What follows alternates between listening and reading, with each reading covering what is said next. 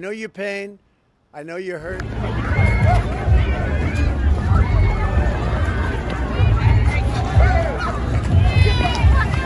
And everyone knows it, especially the other side.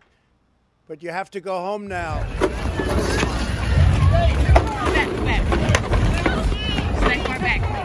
But you have to go home now. We have to have peace. We have to have law and order. We have to respect our great people in law and order.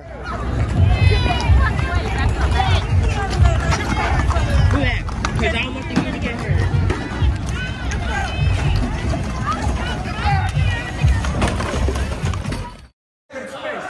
Thank you, Heavenly Father, for gracing us with this opportunity. Thank you. Oh, let me take them back.